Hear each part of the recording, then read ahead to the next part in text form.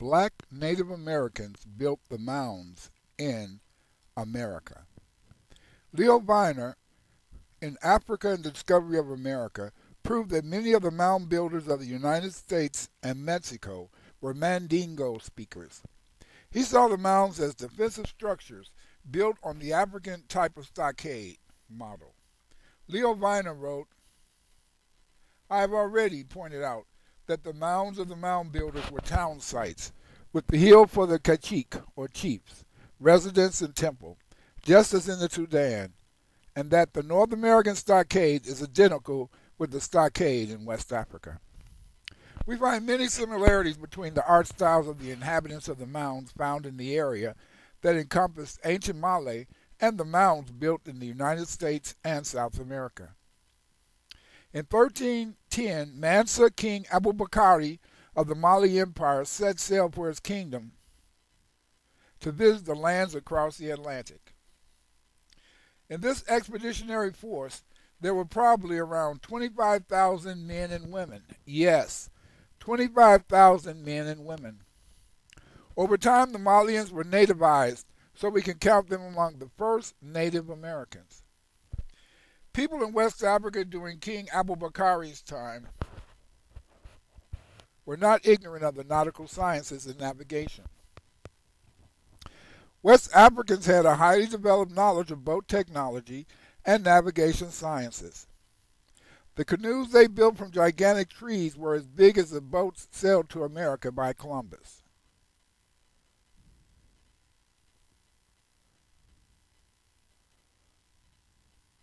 West Africans had a highly developed knowledge of nautical sciences, boat technology, and navigation. By Europeans when they came to the Americas were those mounds built by the black Native Americans. This was the Arawak Indians and people in Florida.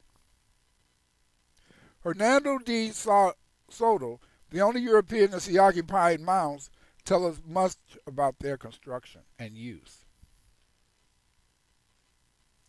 De Soto and his men discussed the mounds they found among the Florida Indians, the Yamasee. Here, as mentioned earlier, lived many black Native Americans. De Soto noted that at Ucita, Florida, I quote, the town was of seven or eight houses built of timber and covered with palm leaves. The chief's house stood near the beach upon a very high mound made by hand for defense. At the other end of the town was a temple. It is interesting to note that in Florida, one of the major ethnic groups living there was the Yamasee or Jamasi, a tribe of black Native Americans. It was the Yamasee who De Soto saw build mounds. The mounds in the United States are usually found near rivers. In the Ohio Valley, 10,000 mounds have been discovered. In the North Mound Zone, they border on the shores of Lake Erie into what is now Michigan, Wisconsin, and on into the states of Iowa and Nebraska. In the southern United States, the mounds line the Gulf of Mexico from Florida to eastern Texas and extend up through the Carolinas and across the state of Oklahoma. The mounds of ancient America follow the lines of the Mississippi and Ohio River, and line regions as well. They may have been built on rivers because of the fact that when Abubakari sailed to the Americas, he came on ships, and these ships would have came inland into the American continent along the various rivers that would have led into the Americas from the Atlantic Ocean, mainly the Mississippi. The mounds that the uh, blacks built vary in size from colossal mounds to Illinois to mere blisters raising from the earth. Most, if not all, of these mounds had long been abandoned by their former inhabitants when they were discovered by the Americans. Many excavated mounds have yielded human bones, weapons, tools, inscriptions, and jewelry. They've also found statues in these mounds that were described as African. Statues of Africans have also been found in these mounds. These, uh, these statues were basically, in a sense, copies of statues that we found in mounds in Africa. We can, we can describe the Iroquois statues of type 1 of a humanoid in a sitting position with their hands on the high on the thigh and right knee, pointing up while the other knee is resting on the ground. These type of uh, statuettes are found in mounds in Tennessee and Indiana at the Angel site.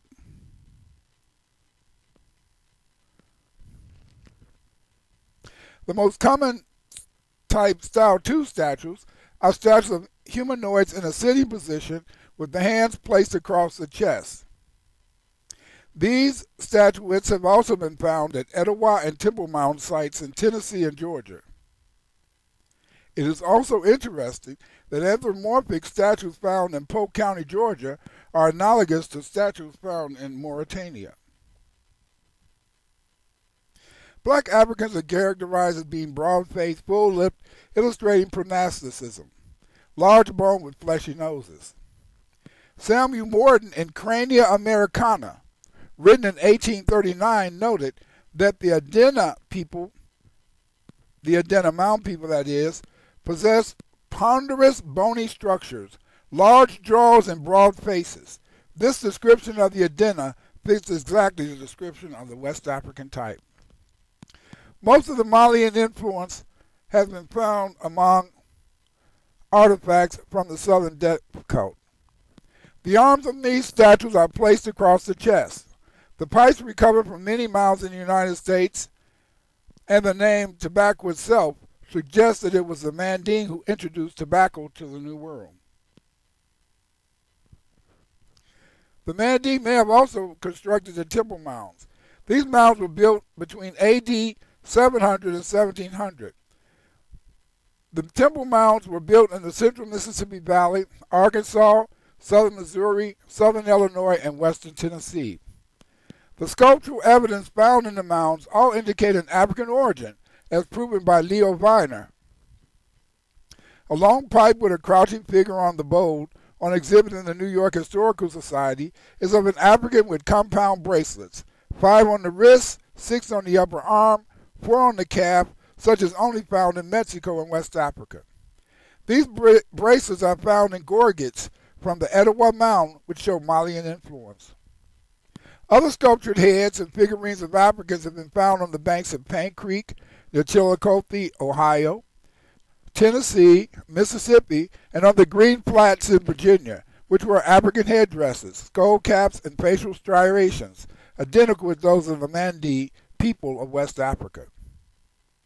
We also find the depiction of Africans in carvings from Spiro Mound, Oklahoma. At Spiro Mound, African faces were carved on shells and the Manding cross sign placed on the palms of the hands on one artifact. This cross in the Manding script meant righteousness or purity.